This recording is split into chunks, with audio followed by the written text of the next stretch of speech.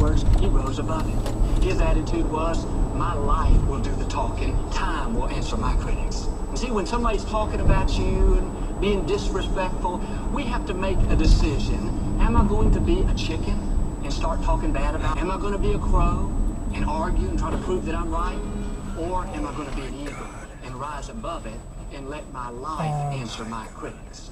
And there's something about a person that's being talked about and criticized, criticized, but he just keeps giving it his best. Being promoted, seeing God's blessings and favor. Even an athlete, think about it. You can criticize the guy, badmouth him, say he's all washed up, but then he goes out week after week, hits home runs, makes game-winning catches, plays like a superstar. He doesn't have to answer his critics. He lets his actions defend himself. The same way, we should not spend all of our time trying to win our critics over.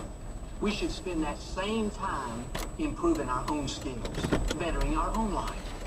I know when my father went to be with the Lord and I first started ministering, I heard some people saying, well, I don't really think Joel can preach. And the reason I didn't argue is because I agreed with them. I had never